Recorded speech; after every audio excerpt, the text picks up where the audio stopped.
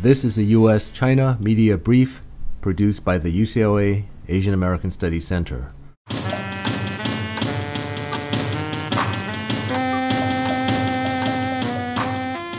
北大水前王八多, Mao Zedong said when he wanted to attack uh, intellectuals at, at Beijing. So, destroy the four olds was one of Mao's slogans. Old habits, old customs, old culture, old this, old that. Destroy the four olds. And yet, when the Red Guards went to Tiananmen to praise Mao Zedong, they said, 我们要见毛主席 seven characters per line. Using one of the four olds in order to praise the person who was telling them not to uh, have anything to do with the four olds. I give you this example to illustrate my point that these cultural habits are, are deep and not, only, not even noticed. I doubt that the Red Guards noticed, or even that Mao noticed, that one of the four olds was being used in, in praise of the chairman. I would argue that the biggest damage to this cultural habit about values that's deep in Chinese tradition, the deepest damage in the uh, late 20th century came from the, the cynicism that resulted when the socialist enterprise collapsed with the Great Leap Famine and the Cultural Revolution.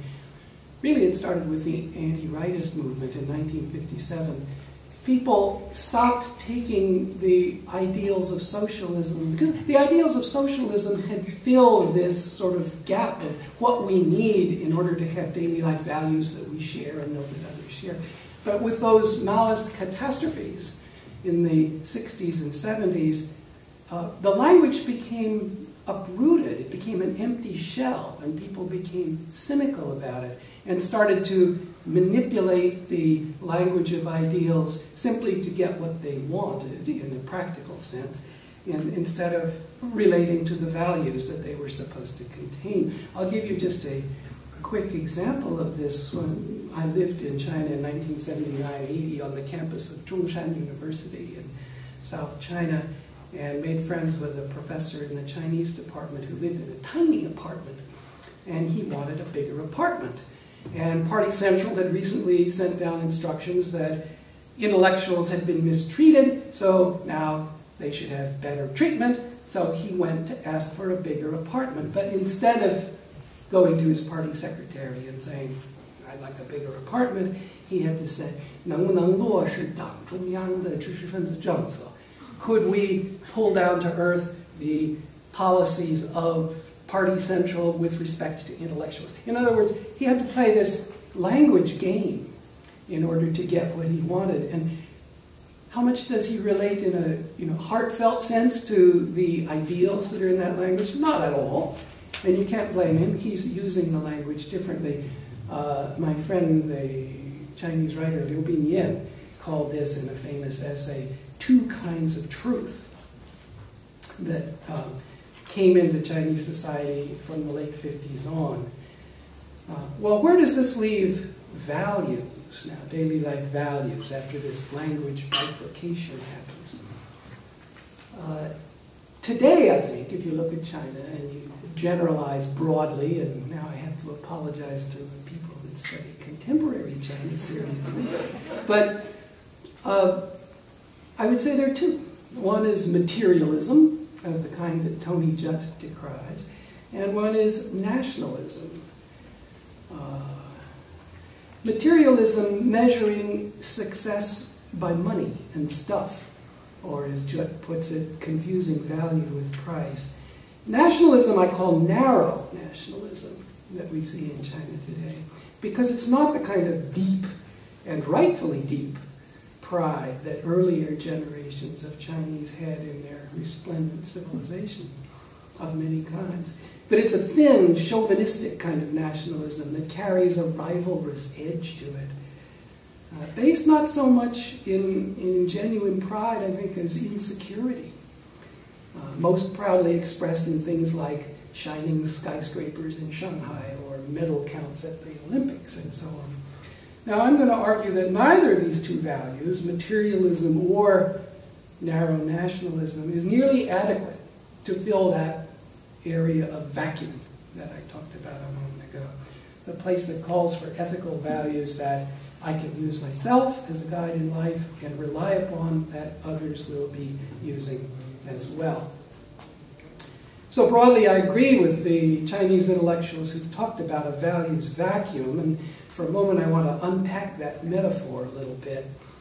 Uh, vacuum means that nothing is there, and I don't think that's literally true. Mean, it's never true that there's no values around at all. It means a paucity of values. But the other part of the metaphor implies there's this sucking action.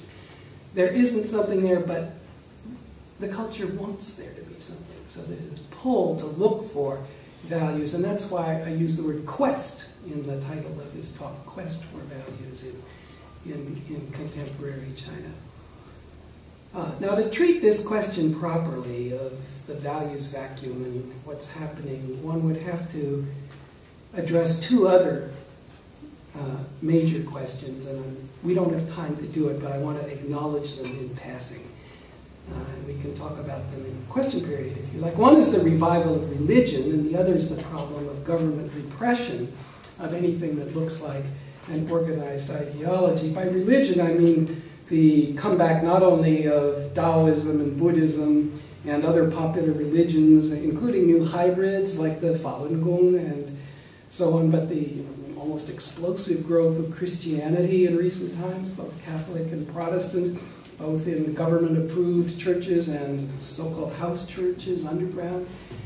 Uh, but I, we don't have time to go into all of that. On repression, I mean the pattern of repression that shows how the Communist Party of China's most fundamental aim is not really control of belief per se anymore. In the Mao era, you could argue that it was, but not now.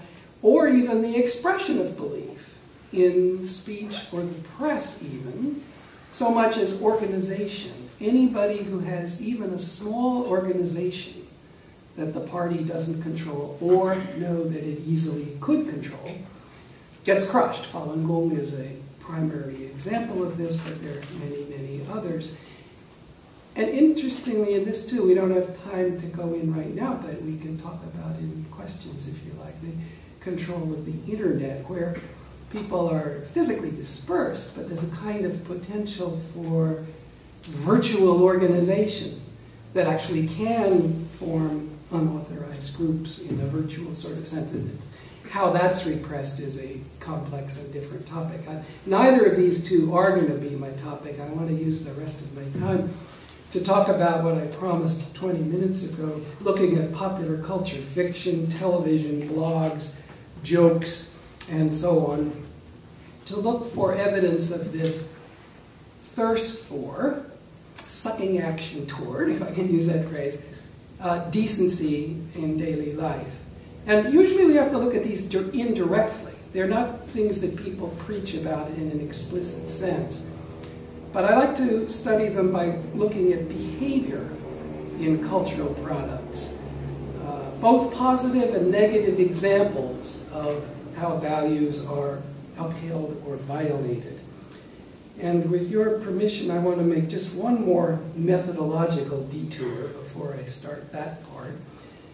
And that's to say that in using the products of popular culture in order to study values, that after all are inside the minds of the populace, readers and viewers and so on, I'm making claims about what's in people's minds, not just what's on the piece of paper. And how can I do that? I'm making some assumptions, and I just want to be explicit with you about them. The preceding copyrighted program is a property of the University of California, Los Angeles. All rights reserved. It may be used freely for educational and not for profit activities.